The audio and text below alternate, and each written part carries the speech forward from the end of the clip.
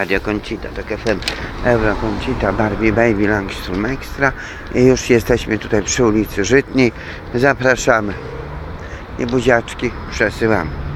No, także jest, jest, wszystko ok, wszystko w porządku, jutro piątek i nadaje, Radio Concita, nadaje, Radio Concita, Tok FM, Euro Concita.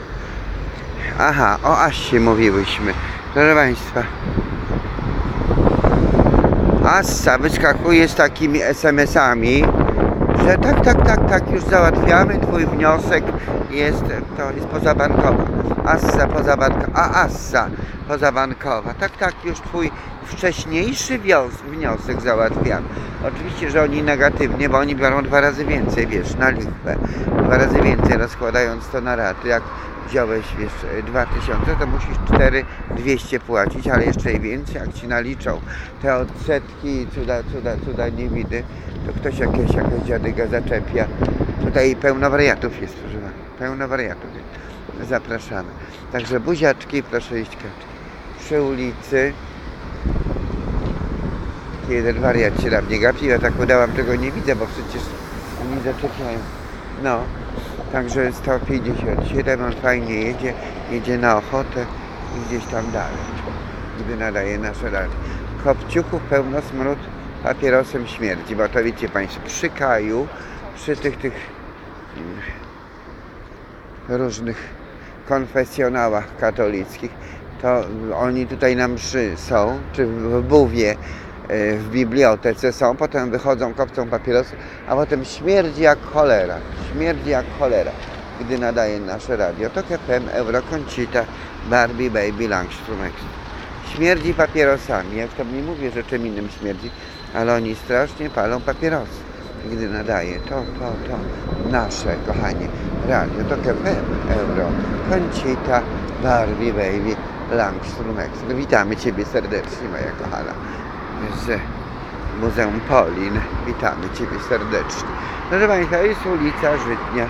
Tu są jakie napisy. Zobacz, jakie to getto. Boż, jakie to getto było. Jakie to getto było.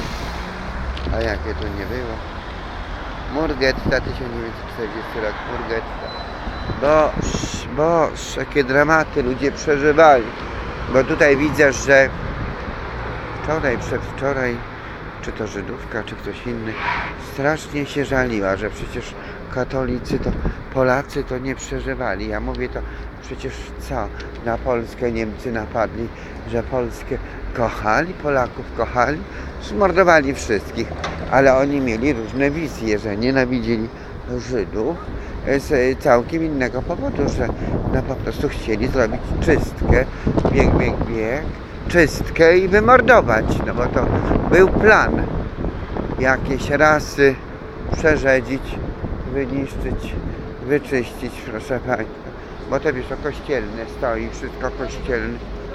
No, słyszę, słyszę. Tak, słyszę moherowych, słyszę. Także proszę Państwa, stara wiara, stary papież, stary tramwaj.